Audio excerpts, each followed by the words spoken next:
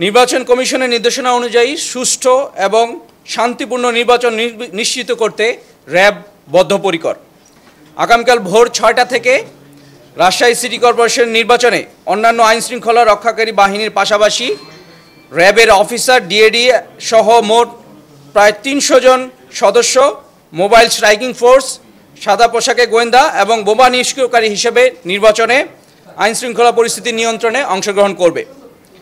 RAB পাঁচের পনেরোটি mobile striking patrol, striking force commander সহ দশটি জিপ, দুইটি স্ট্রাইকিং ফোর্স রিজার্ভ টিম, সাদা পোশাকে পর্যাপ্ত গোয়েন্দা দল, সুপার মোবাইল মোটরসাইকেল টিম এবং অ্যাম্বুলেন্স সহ এই দিন আইন শৃঙ্খলা নিয়ন্ত্রণে নিয়োজিত থাকবে। নির্বাচনে কেউ বাধা সৃষ্টি করলে অথবা সহিংসতা বা নাশকতা সৃষ্টিকারীদের বিরুদ্ধে র্যাবের কঠোর আইনানুগ ব্যবস্থা গ্রহণ করবে। অবৈধ অনুপ্রবেশকারী অথবা সিটি কর্পোরেশন এলাকার ভোটার নন, এমন নাগরিকদের নির্বাচনী এলাকা ত্যাগ অথবা ভোটের নির্বাচনের দিন নির্বাচন কমিশনের বিধিমালা মেনে চলার জন্য অনুরোধ করা হচ্ছে। নির্বাচনের সুষ্ঠু পরিবেশ বজায় রাখার লক্ষ্যে অনুপ্র- অনুপ্রবেশকারীদের, কারী কোনো ব্যক্তিদের অপতৎপরতা, আইনশৃঙ্খলা রক্ষাকারী বাহিনী কঠোর হাতে দমন করবে।